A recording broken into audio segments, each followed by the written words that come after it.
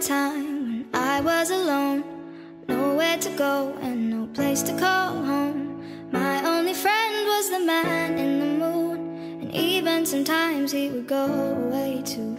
Then one night as I closed my eyes, I saw a shadow flying by. He came to me with the sweetest smile, told me he wanted to talk for a while. He said, Peter Pan, that's what they call promise that you'll never be lonely. Ever since that day.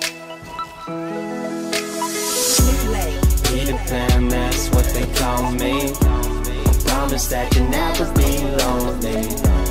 Peter Pan, that's what they call me. I promise that you'll never be lonely. Peter Pan, that's what they call me. I promise that you'll never be lonely.